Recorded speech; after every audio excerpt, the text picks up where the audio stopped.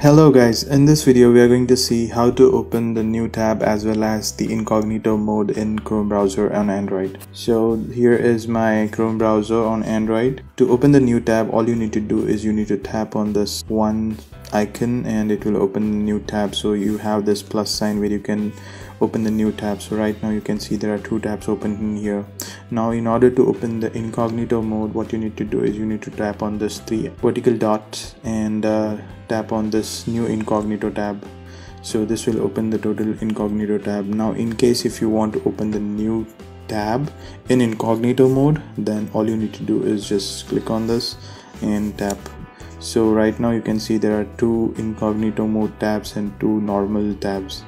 So in this way you can open and uh, you can just switch between these uh, tabs easily uh, by just uh, navigating through one of them yeah this is how you can open the new tab and uh, a new tab in the incognito mode and new tab in the uh, normal mode on your chrome browser on android. I hope this helps. Let me know if you guys have any questions. Thank you